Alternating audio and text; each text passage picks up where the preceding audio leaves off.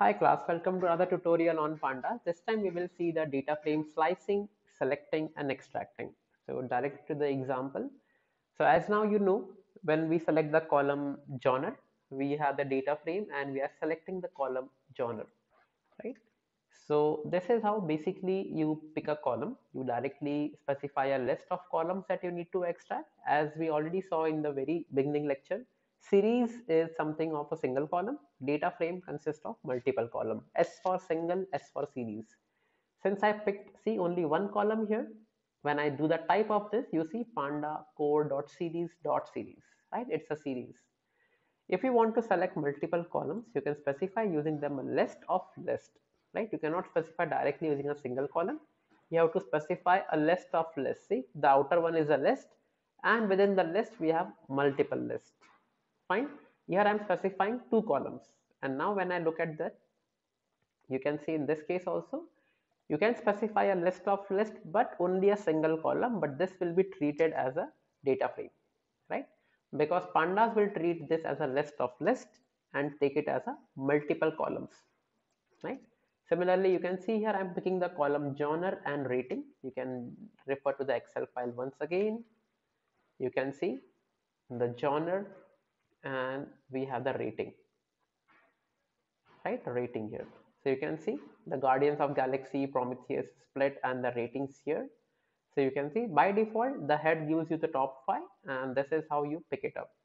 If you remember in our case we already specified that while importing the title was to be the index right so if you directly specify pandas will give 0 1 2 3 4 automatically right so this is how basically you do slicing and all.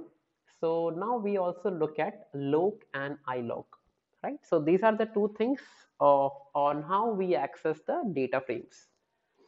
Again so if you see in this particular case when i selected only two columns for this subset we are taking only the genre column and we are taking the rating column right?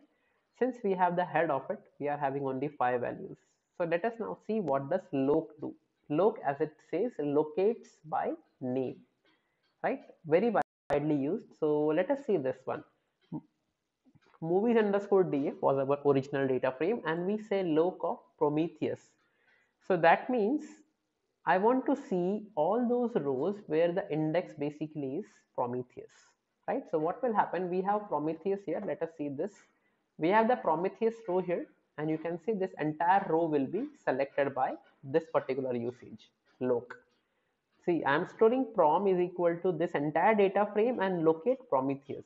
So when I execute this, so you can see rank is 2, genre is adventure, mystery, sci-fi, description directors you can see this entire row is being captured right so this is how you capture data using the loc so let us see actors are these three guys. So you can see in the actors you can see these guys right?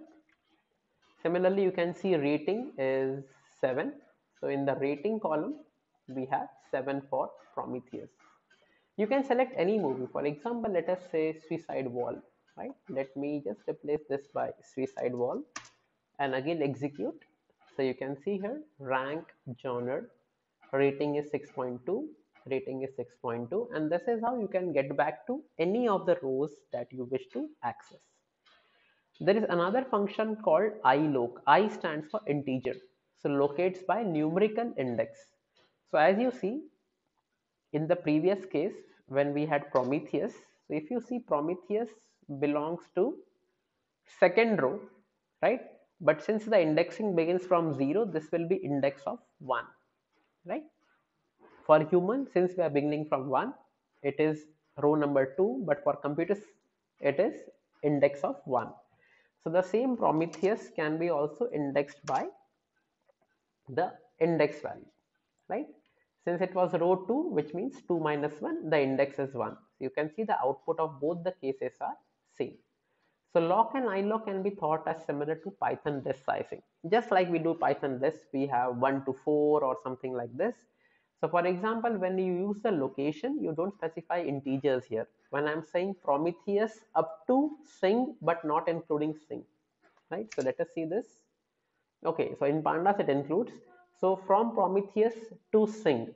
So you can see in this Excel, from Prometheus to Sing, there are three rows.